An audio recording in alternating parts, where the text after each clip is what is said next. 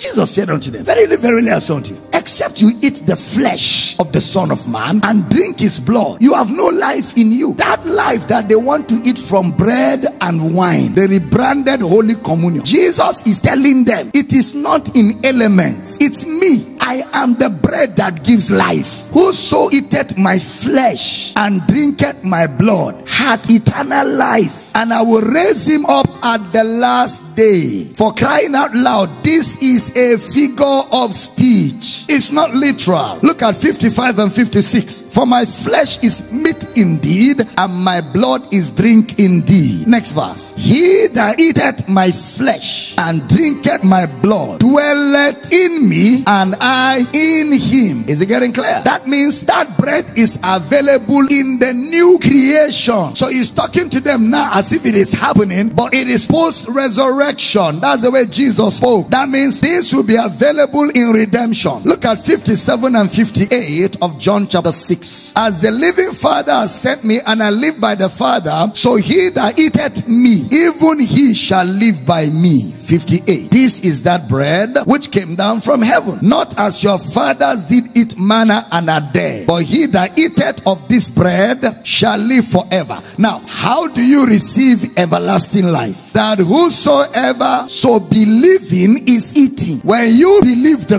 gospel, you just ate Jesus' blood, you just ate Jesus' flesh. And what is the resultant effect of that? Everlasting life. It's not some bread from a bakery and some ribena from one factory in Ogun State that has manufacture and expiry date that they give you in small, small cups in church. And you, you know, even the thing that bothers me about that thing they call the Holy Communion is they said a sinner cannot eat it and a sinner cannot drink it. But who did Jesus die for? The people that ought to eat the communion, if the communion is really a serious matter, it should be unbelievers. And when they eat it, they should be born again. But because that's not what he was talking about, that is why when we now preach and they believe the preaching, they are born again. Because when we are preaching, we are feeding them the body and the blood. So this is the daily bread Jesus was talking about. That's why the next thing he now says in Matthew 6 12, after saying, Give us this day our daily bread, he now says, You forgive us our trespasses. Because the daily bread carries the forgiveness of sin. You forgive us our trespasses. Because this bread is our redemption from sin. And because now you forgive us our trespasses, then you lead us not into temptation. Rather, you deliver us by redemption from the evil one.